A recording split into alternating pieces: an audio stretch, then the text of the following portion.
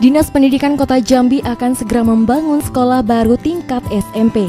Hal ini untuk membantu pemerataan rayon guna mengantisipasi kekurangan SMP di Kota Jambi. Sebab jumlah lulusan tingkat sekolah dasar lima tahun terakhir lebih tinggi dibanding sisa tampung SMP negeri di Kota Jambi. Akibatnya pelaksanaan penerimaan peserta didik baru berpotensi ricuh seperti tahun 2016 lalu.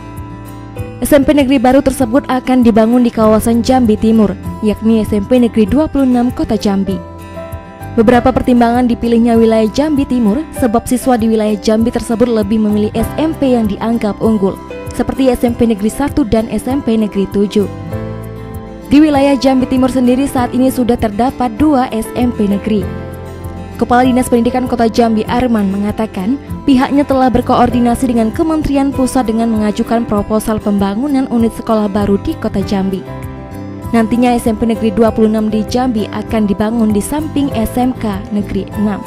Di Jambi Timur itu memang masih kurang sekolah. Sebenarnya kalau sekolah swasta tadi kekurangan murid, eh, kalau kita lihat dari jumlah murid yang lulus dari SD mau masuk SMP itu cukup banyak Cuma memang ada beberapa anak yang memilih sekolah-sekolah favorit tadi. Nah inilah kita harapkan sekolah baik sekolah negeri maupun swasta bersaing, memperbaiki dirinya sehingga anak-anak tidak lagi milih ke salah satu sekolah. Sebenarnya sekolah SMP kita kurang, sehingga ada beberapa sekolah yang berkapasitas.